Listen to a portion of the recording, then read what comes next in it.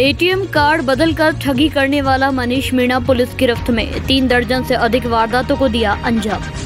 जयपुर जिला ग्रामीण के कालाडेरा थाना इलाके में मदद करने के बहाने एटीएम कार्ड बदलकर लोगों से ठगी करने वाले एक शादर बदमाश को गिरफ़्तार किया गया है। फ़िलहाल आरोपित से पूछताछ की जा रही है।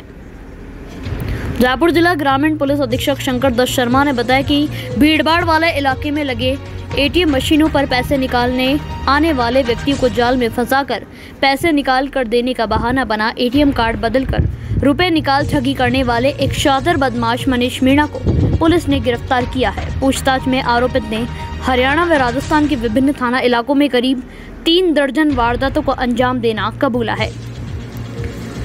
Bureau report, news live Rajasthan. Jaipur.